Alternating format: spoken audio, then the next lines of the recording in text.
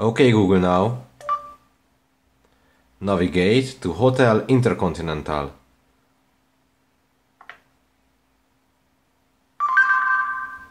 Navigating to Intercontinental Budapest.